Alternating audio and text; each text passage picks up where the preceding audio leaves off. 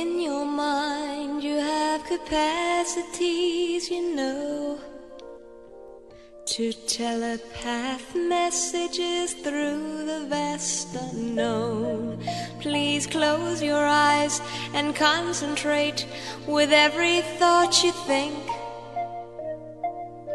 upon the recitation we're about to say. Occupants of interplanetary craft. Calling occupants of interplanetary most extraordinary craft. Calling occupants of interplanetary craft.